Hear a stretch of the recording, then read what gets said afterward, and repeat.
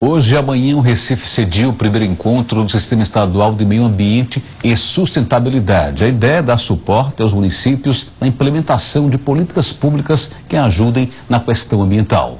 O secretário estadual de Meio Ambiente e Sustentabilidade, Sérgio Xavier, abriu o encontro mostrando novos paradigmas do desenvolvimento com responsabilidade socioambiental. O evento marca o encerramento do ciclo de capacitações de gestores municipais e representantes da sociedade civil em atuação nos municípios. Nós queremos fazer uma culminância né, que consiste mais ou menos em fazer um balanço né, de tudo que foi feito, dos acertos, dos erros, qual foi a importância para o município dessas capacitações e a partir daí a gente dá uma continuidade ao projeto. Como o projeto, o programa, na verdade, se, se chama Sistema Estadual de Meio Ambiente e Sustentabilidade, então não tem como você falar em sistema sem incluir o município. Também foram assinados o acordo de cooperação de licenciamento da Agência Estadual de Meio Ambiente, o CPRH, com os municípios de Jaboatão dos Guararapes, Chechel e Igaraçu. Bom, dentro do âmbito de capacitação de município, descentralização da gestão ambiental, nós temos a, a, o licenciamento e a fiscalização.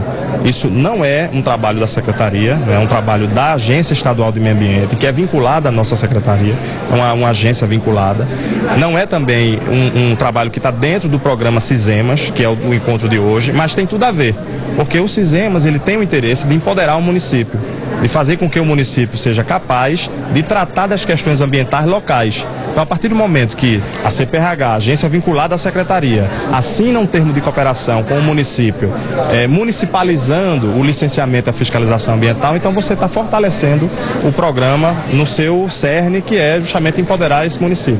Se a população ajudar a preservar o meio ambiente, é possível melhorar o presente e garantir o futuro da natureza. A sustentabilidade tem que ser uma construção coletiva.